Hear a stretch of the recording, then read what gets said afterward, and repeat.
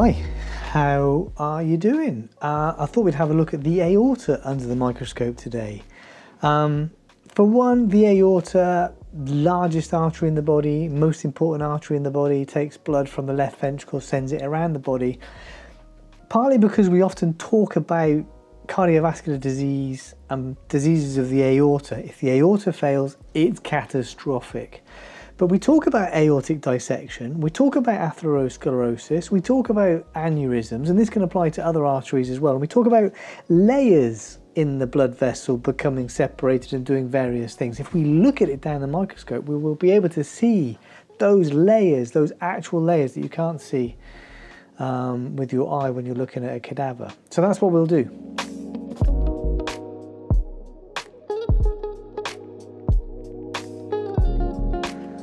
Statistically speaking, atheros- atherosclerosis is going to be the thing that kills you.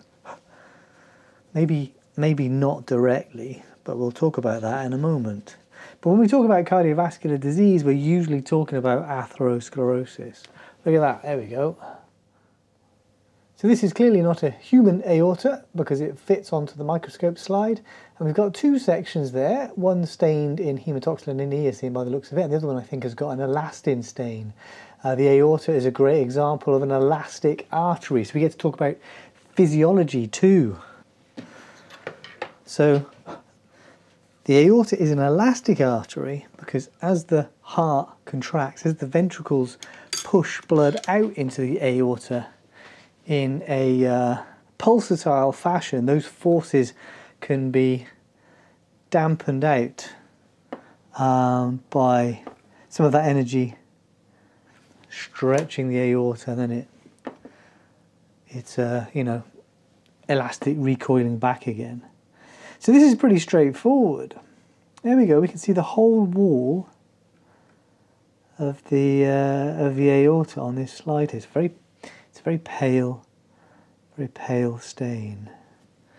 Um, and we have three layers. So over to the right here, here we have the lumen. This is where the blood would be.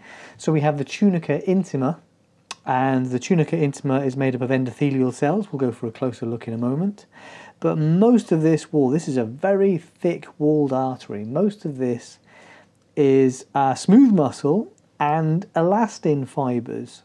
Smooth muscle, because arteries made up of smooth muscle because it's a great building block, but also you can contract and change the diameter of your artery to change to affect where blood goes around the body and the elastic between them. Like I say, it makes it an elastic artery, gives it gives it a bit of stretch and recoil. And then out here on the outermost edge, we have the tunica adventitia. So tunica intima up against the blood, tunica media, uh, smooth muscle, connective tissue, elastin, tunica adventitia around the outside. And we'll go in closer to look at the tunica adventitia, and if we're lucky, we will see nerves and blood vessels, the vasa vasorum. This is an artery so big it has other arteries supplying blood to its wall to cope with this thickness here. Okay, so I'm at my low power there. Let's jump up to 10 times objective. And this is uh, 40 times to my eyes sorry, 10 times objective, 10 times magnification to my eyes, giving me a total of 100 times magnification. Brain and eyes and words not always in alignment. So now we can see the endothelial layer, very, very thin, the very, very thick muscle and elastic layer, and then the outer connective tissue layer holding that all together. The tunica intima tunica media and tunica adventitia. And in terms of our disease processes, we are very interested in the tunica intima. The intimate tunic, the coat closest to the blood, I guess. Um, so all blood vessels are lined by endothelium. Uh, and the endothelium is maybe a bit more special than you think. And certainly I know that uh, biotechnologists who are trying to make blood vessels, you know, man-made blood vessels and heart pumps and that sort of thing, um, it's quite difficult to replicate. Um, the key thing here is that you've got blood running through you. if you cut yourself, that blood forms clots to stop the blood coming out of you. You don't want those clots to form while it's running around inside the body. So that's a big role of the endothelium actually is is a nice smooth flow and not having any clots forming.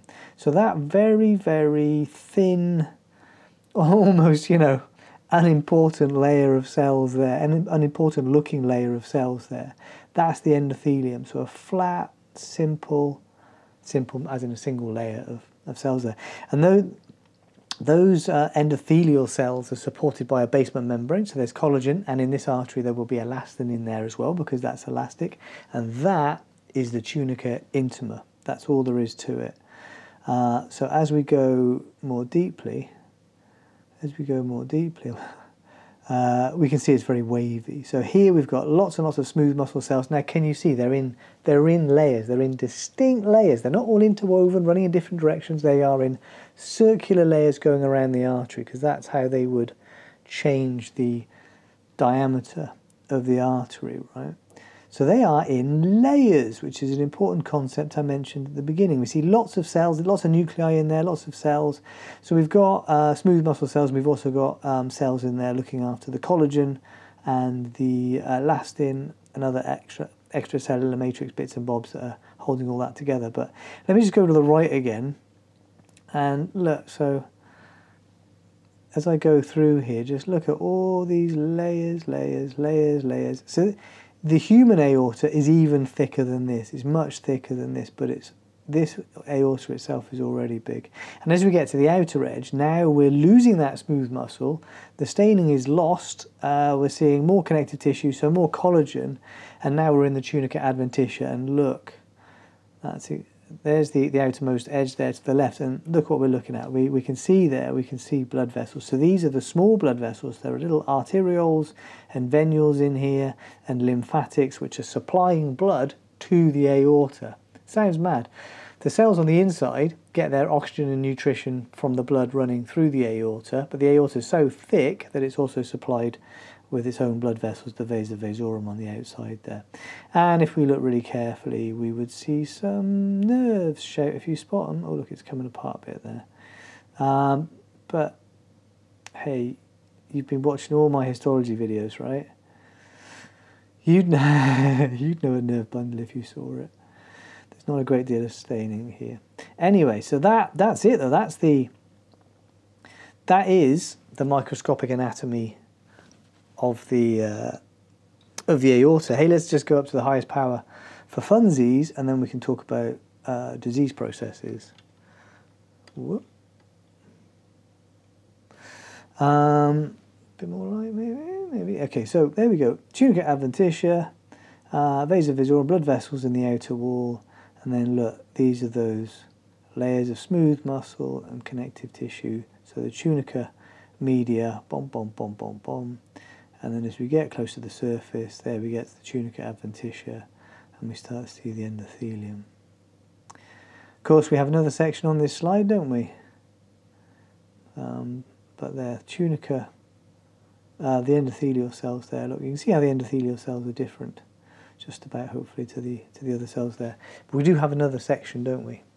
Um, let's go out to. That's the 10 times objective lens. So that's what we've been looking at. Now let me slide across to, is it this way? Nope. let me slide across the short way to this. So this is the same tissue, the same artery, the same aorta, but it's stained with a stain for elastin. So now all of that, all of that, those are elastic fibers. That's all elastin. This is what we mean by an elastic artery. It is full of elastin, so it is very stretchy and very strong because those forces, those pressures generated by the left ventricle as it sends blood out, they're high. So this has got to cope with all that, stretch and recoil, dampen that pulsatile flow, those peak pressures into the sort of pulsatile flows you, you feel in the artery at your wrist and other arteries around the body. Um, but look, so the layers here are very, very clear.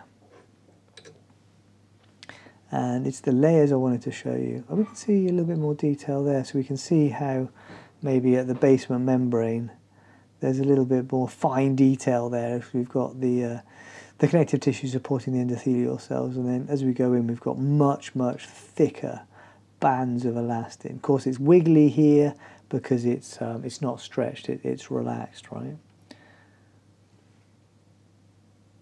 But pretty cool. Right, diseases then. Um, okay, so first of all, um, atherosclerosis. Um, oh, too bright. Atherosclerosis. So you need fat to live. Your, the cells of your body, various things need fat. They, there are many hormones that need fat in their production and so on. But when you eat fat, when you move fat around your body, those lipids are transferred around the body attached to other proteins, such as low density lipoproteins, high density lipoproteins. You've got molecules moving lipids around the body. Um, low density lipoproteins, um, over a long period of time, we're talking decades of too much LDL, too many low density lipoproteins, we'll see those low density lipoproteins moving deep to the endothelium here and into the tunica intima. This triggers a bit of an inflammatory response from the immune system. Monocytes move in, those monocytes become macrophages, those macrophages become foam cells, and you start to get an accumulation of foam cells and lipids in here. So you start to get an atherosclerotic plaque forming in the tunica intima deep to the endothelial cells. So this lovely layered structure that we're seeing here gets disrupted. You start to see a, a mass of foam cells and lipid. The smooth muscle cells nearby will, will often invade this. They'll start to form a, a fibrin surround to that. The cells in the middle will become necrotic and it gets bigger and bigger and bigger. This is, like I say, this is a very slow process that can take decades and decades to develop. It's easy to avoid with diet and exercise, as in a good diet, not just not eating too many bad things. We all know what a good diet is. Um, so as this grows over time, three things can happen. Uh, number one, as the uh, as the plaque grows in the wall there, it can push into the lumen. Uh, so your lumen gets smaller and smaller and smaller. So you, your artery can become narrower. So that can impede blood flow. Imagine if this happens in the heart. Imagine if, if this happens in a, an artery supplying blood to the brain or the kidneys or a region of the gastrointestinal. Any, any part, all parts of your body need blood, right? Um, or the uh, the plaque might push outwards so that it, it but the, the artery bulges out instead of bulging inwards, which can make you more predisposed to forming an aneurysm. So we see an artery and it's got a little bubble on it, a weakness in the wall caused by this shape change here. An aneurysm means that the artery might fail under pressure and then the blood will leak from the artery into the body tissues. You're bleeding internally, which would be bad. I don't know if this is most commonly, but I guess this is um, the most common cause of killing people from atherosclerosis is that the endothelium there, because the plaque is underneath it, deep to it, the endothelium is broken, ruptures. The blood starts to form clots now because it sees the plaque and other things. Clots start to form when this atherosclerotic plaque kind of ruptures and the endothelium is damaged. So now clots are forming inside the circulatory system. Those clots will probably they might block this blood vessel. So this can happen in any artery in the body. So it might happen right there. But that clot, that thrombus, might leave this point and then flow with the blood until it meets a narrowing, until it meets a, a you know, an artery that's getting smaller and smaller and smaller, and then it gets blocked. So this is what commonly causes a stroke to the brain. This is what commonly causes a heart attack when the coronary artery gets occluded. This can occlude an artery, say, go into the kidneys, which can cause kidney disease, or the gastrointestinal tract, which would, and you know. So um, this is what atherosclerosis is. It's a slowly developing um, pathology in the wall of an artery or multiple arteries as a result of lots of LDL, low density lipoprotein, uh, in the blood for long periods of time. Uh, monocytes, macrophages, foam cells form a plaque with that lipid. That plaque grows over time and can either narrow the blood vessel, burst the blood vessel, or cause clots to form at that blood vessel which block other blood vessels. That is common. Um, aortic dissection is um, less common but hugely dangerous. So in um, in aortic dissection, the endothelium has been damaged, maybe by um, atherosclerosis, maybe by some other process, and uh, as the endothelium is damaged, blood under high pressure can move into these layers that we see here. Maybe it's the layer between the tunica intima and the tunica media. Maybe it's between layers of the tunica media, but blood is then forced into, because this is a high pressure, pressure vessel, blood is then forced into that layer and those layers separate. That's an aortic dissection. So you kind of, you've got your normal lumen and then you've got a false lumen as blood is being forced into this layer and creating a, the blood doesn't really go anywhere, it's just forced into this blind ending thing it's created, right? Now that aortic dissection can track either away from the heart or towards the heart, as in those layers keep getting pushed apart and pushed apart. So it can get worse and worse and worse over time. Um,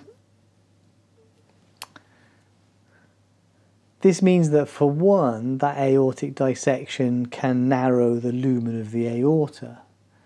Uh, for two, if it tracks back towards the heart, it can then affect the coronary arteries, which are the first branches of the aorta. If it tracks away from the heart, it can affect other branches. Imagine how, if you've got a tube with these layers, how another tube, another artery branching from it, how those layers become that shape.